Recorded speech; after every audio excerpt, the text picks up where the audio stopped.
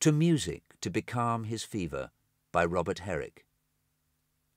Charm me asleep, and melt me so with thy delicious numbers, that being ravished, hence I go away in easy slumbers. Ease my sick head, and make my bed, thou power that canst sever from me this ill, and quickly still, though thou not kill my fever. Thou sweetly canst convert the same from a consuming fire into a gentle licking flame, and make it thus expire. Then make me weep my pains asleep, and give me such reposes, that I, poor I, may think thereby I live and die mongst roses.